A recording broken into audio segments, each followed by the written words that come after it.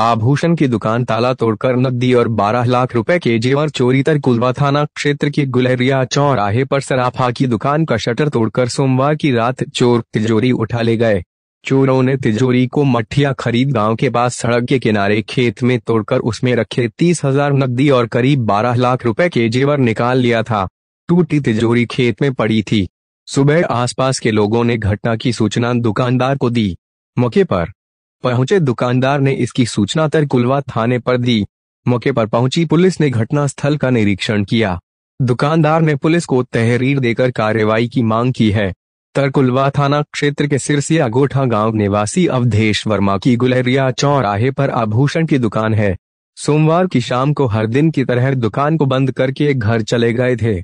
देर रात को चोर दुकान के शटर का ताला तोड़कर अंदर दाखिल हो गए। चोर दुकान में रखी तिजोरी को उठा ले गए। मंगलवार की सुबह तिजोरी मठिया खरीद गाँव जाने वाली सड़क के किनारे एक खेत में टूटी हालत में मिली। दुकानदार ने पुलिस को तहरीर देकर बताया है कि तिजोरी में तीस हज़ार रूपए, तेरह सोने की कान की बाली, सोने की दस नथुनी, पचास सोने की कील, दो लड़ी समेत सोने की नथिया, सत्रह ग्राम पुराना सोना, ग्राहक का गिरवी रखी सोने की चेन, चार किलो चांदी चांदी के दर्जनों पायल रखा था। उसे चोर उठा ले गए हैं। दुकानदार के मुताबिक, चोरी गए सामान की कीमत लगभग 11 से 12 लाख रुपए है। इस और जयंत कुमार सिंह ने बताया कि तहरीर मिल गई है, मामले की जाँच की जा रही है।